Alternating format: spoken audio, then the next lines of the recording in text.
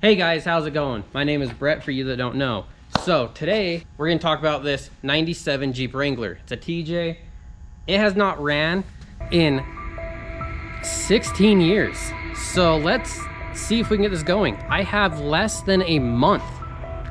I don't know if we'll make it at the winter 4x4 Jamboree in Northern Utah.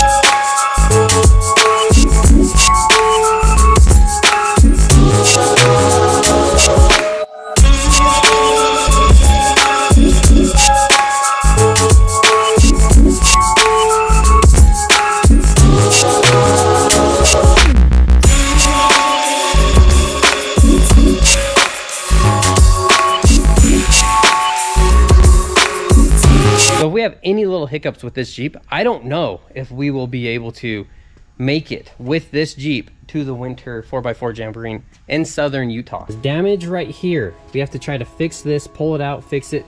We can't even bolt the fenders. Like, no fenders will fit or bolt to right here. So we have to fix this. None of this is even bolted to the Jeep. We still gotta, and once we do that, we gotta paint it. Like the tail lights are just chilling right here. There's no holes back here for the tail lights. This thing hasn't been registered since 2008.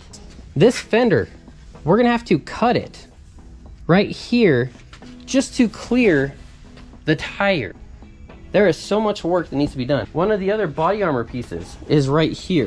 We're going to make it to the winter jamboree if it starts. That's the whole thing. Like, if this thing doesn't start, it might. I don't know what we would do.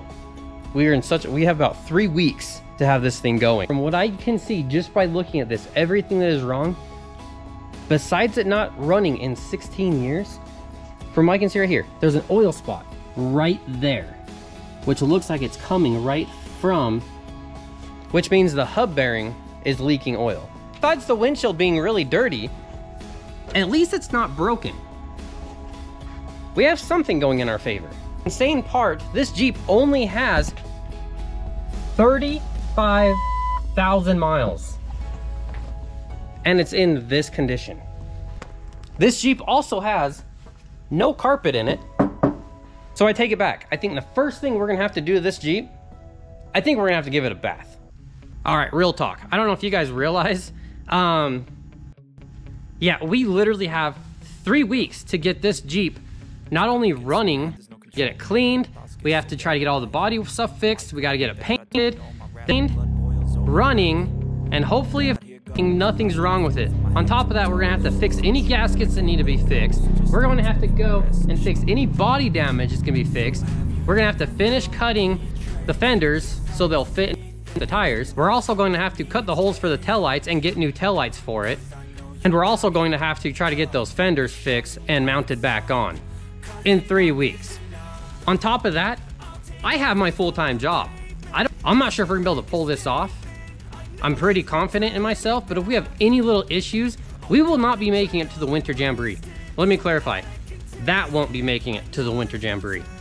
Thank you for tuning in, and please like and subscribe, comment below. If you guys have made it this far, you're the real one. Thank you.